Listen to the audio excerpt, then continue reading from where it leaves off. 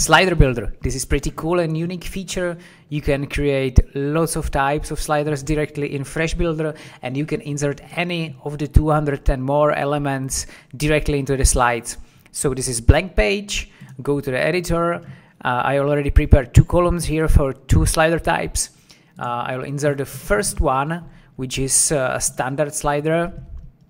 Uh, you can, by hitting plus, you can insert the slide. I will insert image. And uh, I will insert also below I will insert some heading.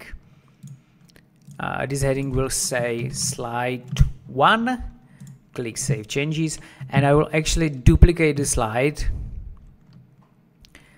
It will say slide 2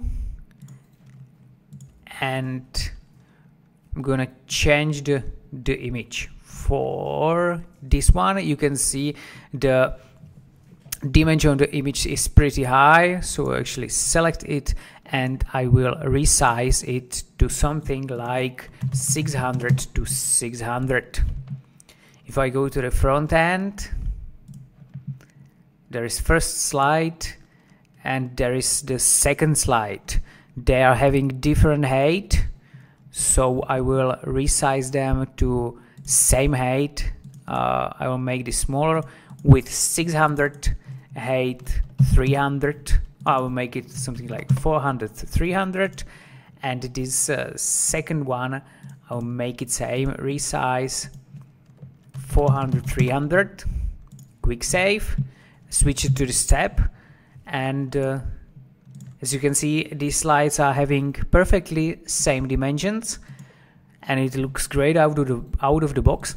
But uh, there is also a carousel which is different type of slider. I will find it. There is the carousel.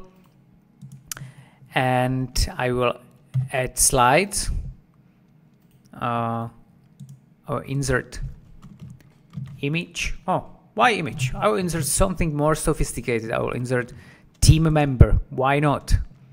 Uh, insert my favorite team 10 and I'll duplicate it and duplicate it. So there are three slides. Each slider have uh, its own settings. So I'll edit the element. Uh, a lot of settings you can loop the slider resize the height uh, customize the arrows set arrows colors.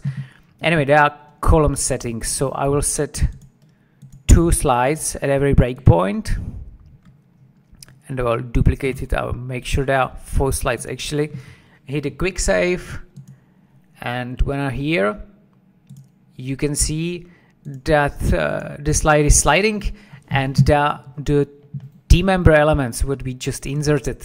And it looks amazing. It works out of the box